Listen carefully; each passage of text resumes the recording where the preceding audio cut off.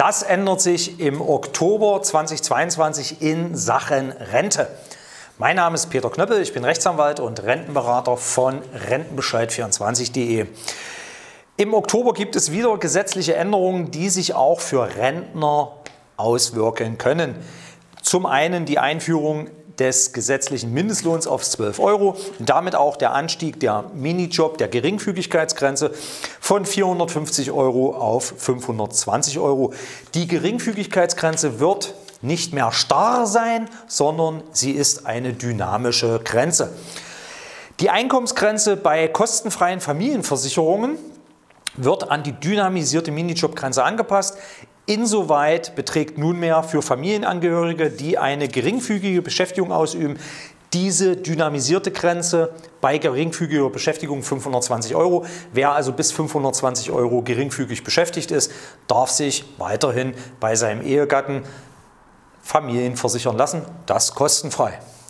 Die MIDI-Jobgrenze, Übergangsbereich genannt, erhöht sich ab dem 1.10.22 bis zum 31.12.2022 von 1.300 Euro auf 1.600 Euro. Ab Januar 2023 sollen es dann ja 2000 Euro im Übergangsbereich sein. Der Vorteil für den Arbeitnehmer oder den beschäftigten Rentner ist, dass er in diesem Bereich über die Geringfügigkeitsgrenze 520 Euro bis 1600 Euro Bruttoeinnahmen weniger Sozialabgaben aus seinen Einkommen abführen muss. Damit natürlich auch für Rentner sehr interessant, die neben der vorgezogenen Altersrente noch weiter verdienen wollen oder sogar müssen. Der erleichterte Zugang zum Kurzarbeitergeld wurde statt bis zum 31.12.2022 nunmehr durch Rechtsverordnung der Bundesregierung auf den 30.06.2023 verlängert. Und was auch ganz wichtig ist, die Gasumlage, die zum 1.10.2022 kommen sollte, ist vom Tisch. Sie wird nicht mehr kommen und somit Millionen Menschen und Unternehmen keine Mehrbelastung bescheren.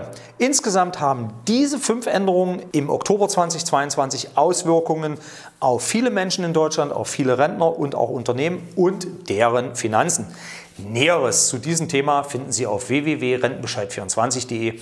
Ich wünsche Ihnen wie immer eine rentenstarke Woche. Ihr Rechtsanwalt und Rentenberater Peter Knöppel.